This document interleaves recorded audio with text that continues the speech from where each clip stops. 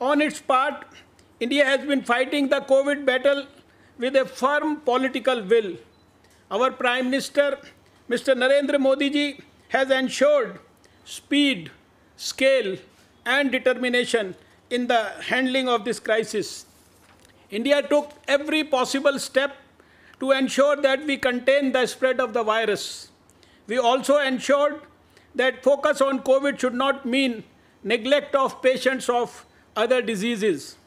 Armed with a political will to ensure that we defeat this dreadful disease, 1.35 billion Indians came together to honor the decisions on national lockdowns that have kept our mortality rate down and contained the spread of the disease.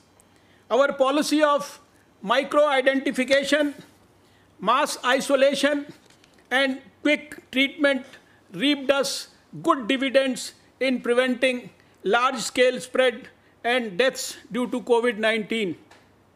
Although India has a robust healthcare system, we swung into action and added capacity in terms of infrastructure as well as manpower. With a fleet of 10,000 dedicated COVID hospitals and care centers and a trained healthcare workforce of over 2 million, there was no looking back. As we care for our citizens, we have also extended help to other countries.